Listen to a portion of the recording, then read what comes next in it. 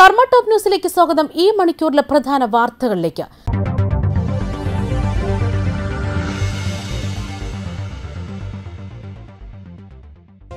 തല്ലിക്കൊന്ന് കുഴിച്ചിട്ടാലും Indian president ആക്കാമെന്ന് പറഞ്ഞാലും L D എഫിലേക്കില്ലെന്ന് പി സി ജോർജ്. തൃശൂർ അറവൂരിൽ ആംബുലൻസും ഓട്ടോറിക്ഷയും കൂട്ടിയിടിച്ചുണ്ടായ അപകടത്തിൽ പരിക്കേറ്റ മൂന്നര വയസ്സുകാരനും മരണപ്പെട്ടു. ഓട്ടോ ഡ്രൈവറും കുട്ടിയുടെ അച്ഛനുമായ ജിതിൻ അപകടത്തെ തുടർന്ന് സംഭവ സ്ഥലത്ത് തന്നെ മരണപ്പെട്ടിരുന്നു. അറബിക്കടൽ രൂപം കൊണ്ട് അതിതീവ്ര ചുഴലിക്കാറ്റ് ബിപുർജോയ് ഗുജറാത്ത് തീരത്ത് കരതൊട്ടു. അർദ്ധരാത്രി വരെ കാറ്റ് തുടരുമെന്ന് കേന്ദ്ര കാലാവസ്ഥാ വകുപ്പ്.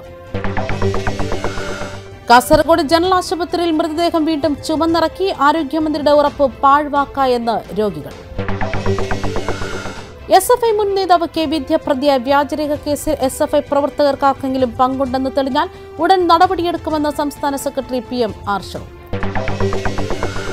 Thiruvananthapuram വിമാനത്താവളം വഴിയുള്ള സ്വർണക്കടത്തിൽ രണ്ട് കസ്റ്റംസ് ഉദ്യോഗസ്ഥർ അറസ്റ്റിൽ. അനീഷ് മുഹമ്മദ് നിതിൻ എന്നീ രണ്ട് ഉദ്യോഗസ്ഥരാണ് പിടിയിലായത്. സ്ത്രീത്വത്തെ അപമാനിച്ചെന്ന കേസിൽ നടൻ ഉണ്ണി മുകുന്ദനെതിരെ തുടർ നടപടി സ്റ്റേ ചെയ്ത് കോടതി കേസിൽ പരാതിക്കാരിയുമായി ഒത്തുതീർപ്പായെന്ന് ഉണ്ണി മുകുന്ദൻ. മുഖ്യമന്ത്രിയുടെയും പ്രധാനമന്ത്രിയുടെയും ഓഫീസുകളിൽ വരെ ബന്ധം സ്ഥാപിക്കാൻ മോൺസൺ മാവങ്കൽ ശ്രമിച്ചെന്ന മോൺസന്റെ മുൻ ഡ്രൈവർ. മുഖ്യമന്ത്രിയുടെ ഓഫീസിൽ സ്വാധീനം ഉറപ്പിക്കും മുൻപേ മോൺസൺ അറസ്റ്റിലായെന്ന് ആരോപണം. കാട്ടാക്കട ക്രിസ്ത്യൻ കോളേജിലെ ആൾമാറാട്ട കേസിൽ മുൻ പ്രിൻസിപ്പൽ ഷൈജുവിന് മുൻകൂർ ജാമ്യമില്ല. ഷൈജുവിന്റെ ജാമ്യാപേക്ഷ തിരുവനന്തപുരം പ്രിൻസിപ്പൽ സെക്ഷൻ കോടതി തള്ളി.